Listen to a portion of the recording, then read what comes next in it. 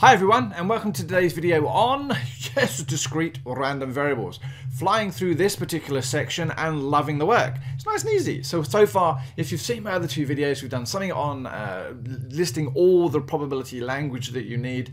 And the one prior to this was on conditional probability and independence. So, random variables. What is a random variable? Well, as we said previously, it's where you cannot predict the outcome. A variable, just something that's going to possibly change. And discrete, well, let's not rush things. As you can see behind me, there is the type of stuff we're going to cover today. The difference between a discrete random variable and a continuous random variable, and what a discrete probability distribution is. Now, in previous years, we've done all sorts of probabilities, and for some strange reason, and I cannot believe I'm about to say this out loud, because I do everything in my lesson to say spherical objects.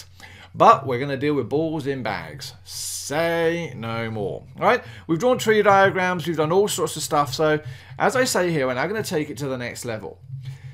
What we're about to do now is scaffold later videos on the binomial uh, distribution. All right, so really, really important that you understand the, the basics here. So if not, watch the video, I don't know, on repeat, maybe get my views up, whole new discussion. But let's take a scenario that I've got 10 balls in a bag. Four are white and six are black. Now you're looking at that picture and you're going, well, hold on a moment, they're not. I couldn't find a picture of black and white balls. I want to choose three of them.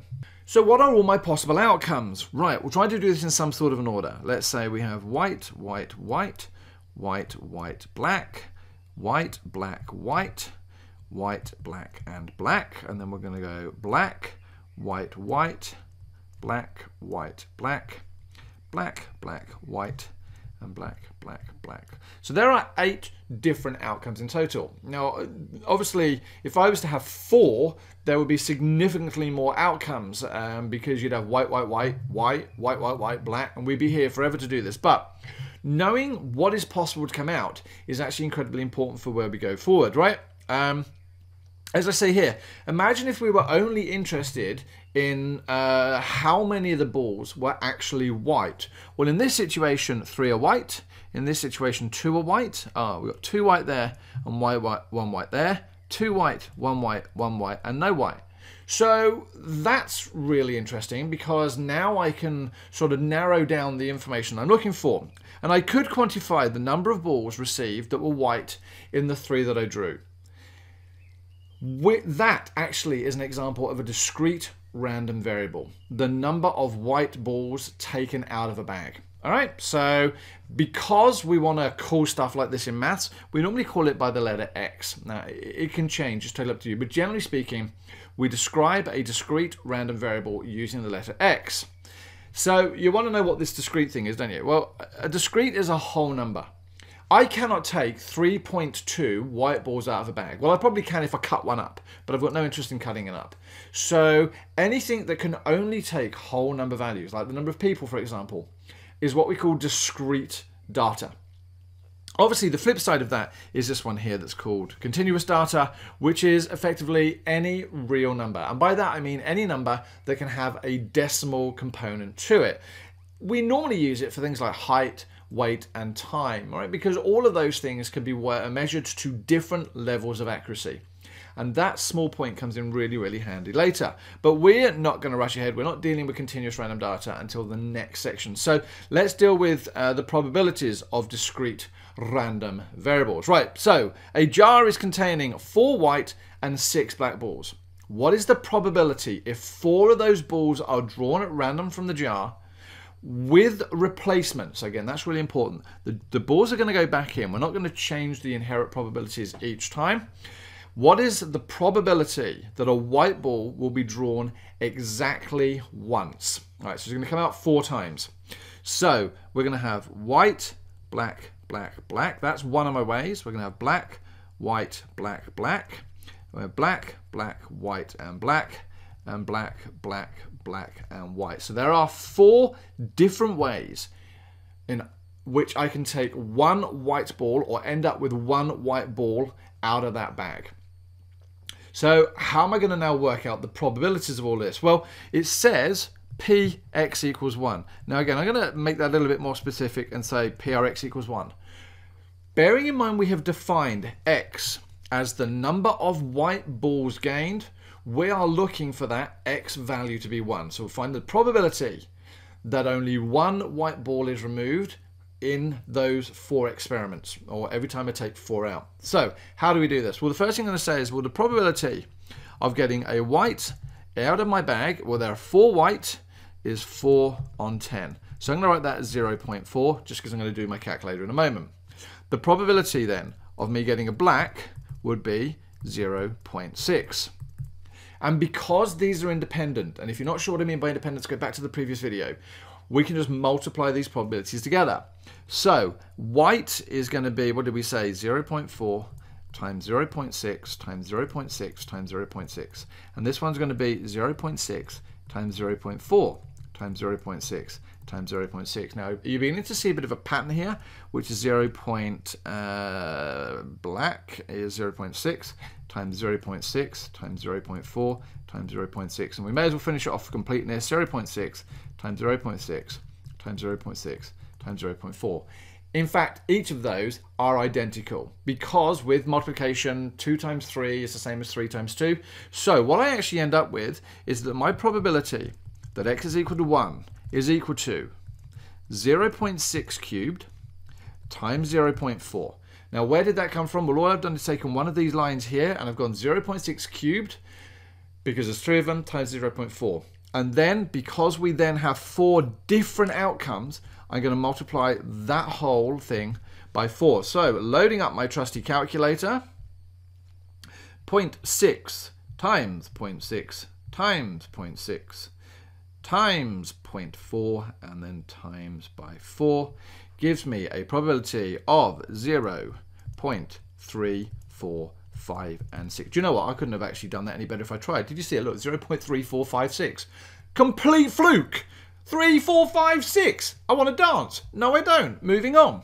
But you see what happened there? The point of this was to find those individual probabilities.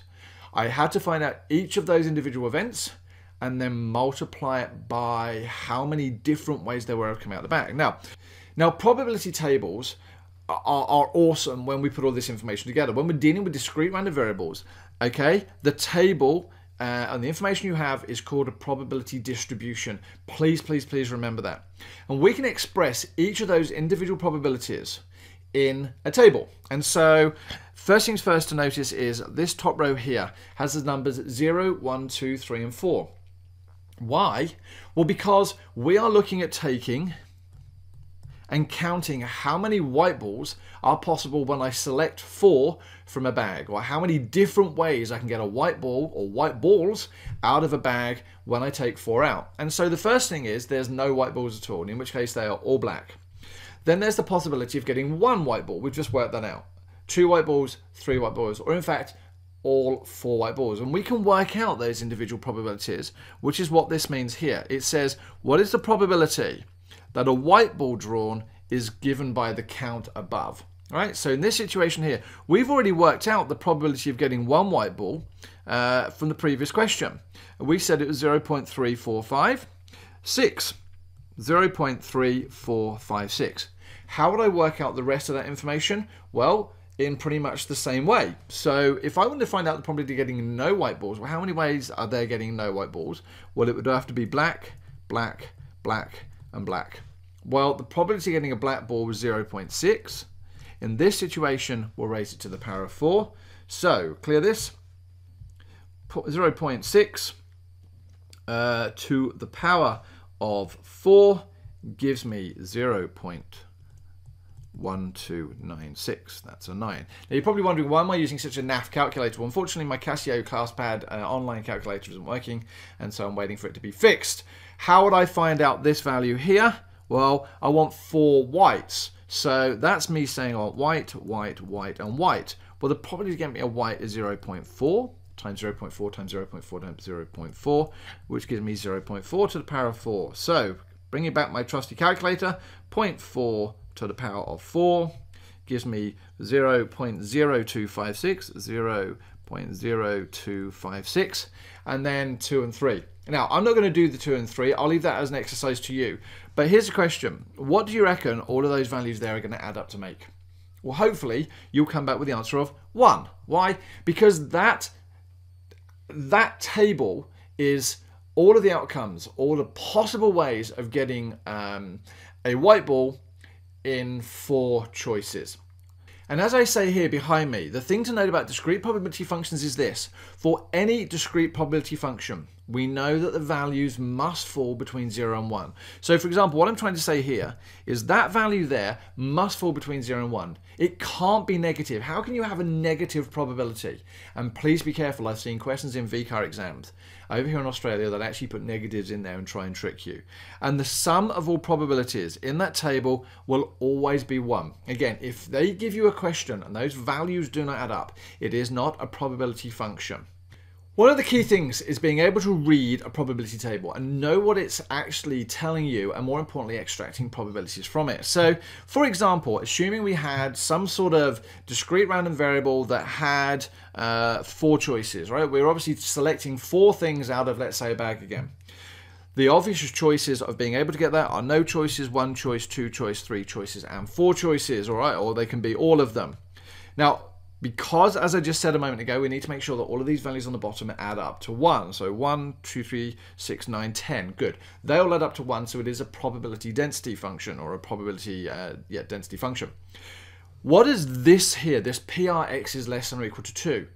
What it's saying is find the probability of getting x equals 0 plus x equals 1 plus uh, x equals 2. It's saying find the probabilities of getting 0, 1, and 2. Now, the way I know it's 2 because it's less than or equal to 2. And be very careful with binomial data when we come up to it to make sure that you don't fall foul of that less than or equal to sign.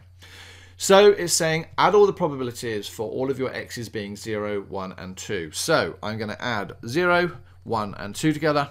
So my probability of getting less than or equal to two white balls out of a choice of 4 is equal to 0.1 plus 0.2 plus 0.3, which just so happens to be 0.6. Much more coming on reading your tables, but this is just a headline. And what does this business mean? It's PRX is greater than 3. Uh, right, conditional probability. We've just done a video on that. So, probability of x is greater than or equal to 3. Oops, don't close the bracket down. Is given that x is greater than 2. First thing I'm going to do is write out x is greater than equal to 3 and x is greater than 2 divided by the probability that x is greater than 2. Now, this thing here is trying to trick us. The probability that x is greater than or equal to 3 and x is greater than 2. Well, for x to be greater than or equal to 3, it's already got to be greater than 2. So this is actually a bit of a trick. It's just as simple as x is greater than or equal to 3. So, knowing that, what do we do? Greater than or equal to 3, add those two values together, which just happens to be 0.4.